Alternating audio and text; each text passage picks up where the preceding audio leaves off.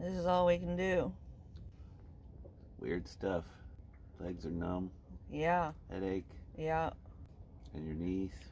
My knees, I've had propped up on this pillow. My joints hurt so bad. Oh, it's actually not too bad at this moment, I have to say. It's Huh? probably the best I felt all day. I'm Okay. thinking about talking about this. Yeah, Yeah, you first. I'll begin. We are sad to announce there's been a tragedy that struck the two of us Yes, on Rum Tot. yes. It's a bit of a difficult story. However, it's something that I denied for over a week. Finally, did some real research this morning and discovered that it was true, and that my denial was both due to stubbornness and um, and me not willing to or wanting to waste food. As it turns out, a king mackerel the size of the fish that we boated last week, uh, also known as a kingfish, is can be can be a carrier of a toxin that leads to some pretty ugly side effects. In fact, uh, we're learning that many fish can. Ciguatera fish poisoning is a very common seafood illness for Bahamas travelers, as we are quickly learning. And uh, happens in Bahamas, throughout the Caribbean. Um, it's caused by eating fish contaminated with ciguatoxins, which are produced by small marine organisms living on or near coral reefs.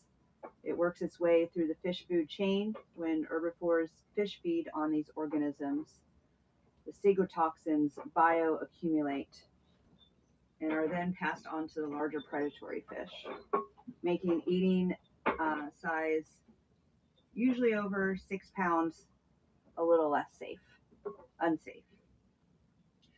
I guess it started um, about a week ago when we landed a big king mackerel and and started eating the fish.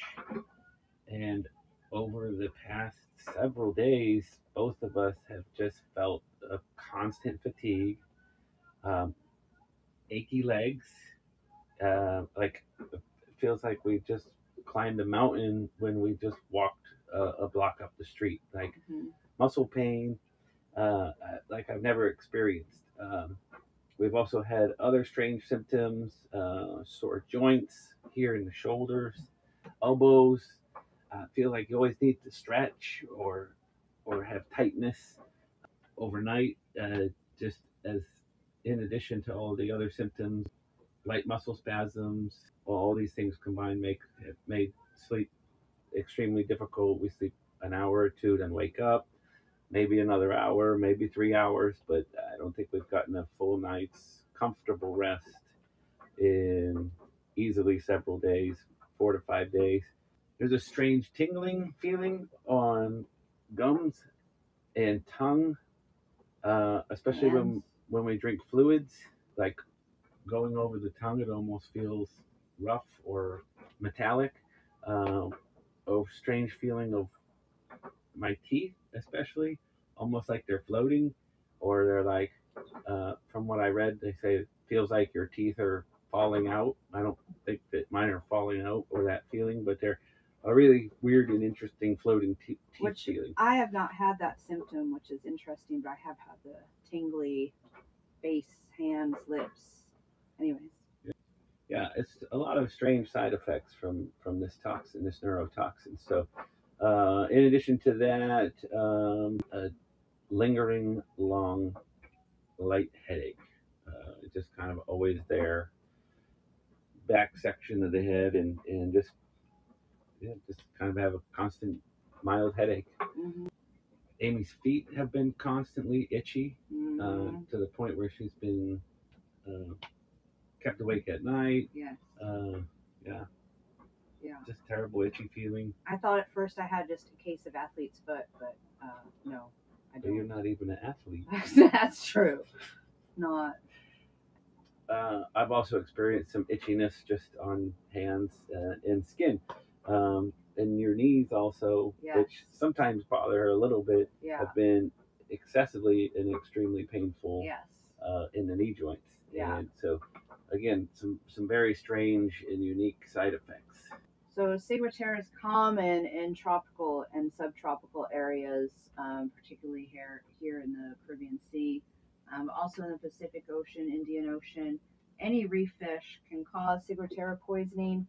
Um, species such as our king mackerel, which was so cool to catch, and barracuda, which we also caught, And uh, and ate. that was a smaller barracuda. And many others, such as large grouper, some species of red snapper, moray eel, amberjack, parrotfish, hogfish, kingfish, uh, coral trout, to name a few, are most commonly affected. Uh, ciguatoxins are concentrated in fish liver, intestines, heads, and roe. And we did eat some of the head of this mackerel. Uh, I don't know if it was just the head how that works. If just the head contains the toxins or the body, I don't know. Uh, the toxins do not affect the taste of the fish, so you can't smell it, you can't taste it, you don't know it's there. Uh, you can't cook it. You can't cook it out. You can't smoke it out. You can't freeze it out. It's just uh, there. it's uh, undetectable. it's undetectable. It's, in the flesh of the fish, and there's nothing you can do about it to yeah. to know it's there or not know it's there. Yeah. And not all fish of a given species or a given area are toxic. We could catch another mackerel probably right here today and it might be fine. Totally fine. Yeah. There's no way to tell. So. Yeah. So another thing that had us slightly concerned, or or is the fact that people have reported these symptoms uh, to last months or years or, or reoccur after the fact. We're hoping that from what we've read, it's a, a short process to get the toxins out and may only be um, six or seven days, uh, two or three more days. Uh, we've eaten so much of this fish, though, over the course of the last week. I mean, We ate it every day. tail. We ate it ev- almost every meal. Included it. We included it in nearly every meal for the last consecutive seven and a half days. hmm So knowing that there are certain triggers that could cause this to reoccur, from what we read, months or even years afterwards. I hope that's not the case because some of the triggers are things that we absolutely love, like chocolate, um, any other seafood, Yeah. uh, alcohol, Yeah. tobacco, Yeah. uh, Nuts. nuts and nut oil, cap- caffeine, Yeah. coffee. Uh, Things we have almost every day on that list. yeah, uh, yeah, and, Yeah. And, and and the list goes on. There are, there are certainly other things too that that could trigger trigger this to return. So fortunately, uh, death has only carried, occurred in very rare cases. Um, we're, we're okay, we're fine. Uh, it's noted, as Chris said, that symptoms can occur for months or years and even reoccur. And um, we both have been reading that uh, the second bout is much worse. So hopefully we don't have to deal with that. Um, most people, like Chris was saying, can recover in days or weeks, and we hope that we will be in the days recovery uh, rather than the weeks. Um, today is probably the worst day we felt by far. Definitely the worst, and hopefully we're uh, drinking enough water that we're going to flush it out. Better. I feel Um, better than I did earlier this morning. we're at least hydrating. Yes, that's true too. Yeah. There's no antidote for Ciguatera, so um, you can go to a doctor and they can give you painkillers and help reduce your symptoms, but that's about all that can be done for you. Yeah. So as of this morning, um, after extensive research, we're taking this as serious as we possibly can, knowing that it's kind of a strange and mysterious and unknown uh, toxic disease or illness. Um, it's really, it's really kicked our butts over the last couple of days, and um, yeah, I think again, I was just stubborn, and even though in the back of my mind days ago, I I probably can say I knew it was the fish. I would agree. I feel like I knew a couple days ago as well, but uh, I guess uh, I don't have a explanation for neither one of us. Just came out and said it to each other. But like, Yeah, I feel well, like I knew it. I don't know. I think I we, we've just gotten off of a busy week. We're Yeah. here. I mean, maybe it was, you know, there, there are a lot of excuses we could make, but I think Yeah. a lot of signs did point to the fish, but it Yeah. was a beautiful fish. And Yeah. we had tons of free food. And again, I was like, how do you take a gorgeous fish like that with over 15 or, or 18 pounds of meat and Yeah. just discard it? And Yeah. Which is what we did today. Everything came out of the fridge and went back to the water this Yeah. morning. Yeah.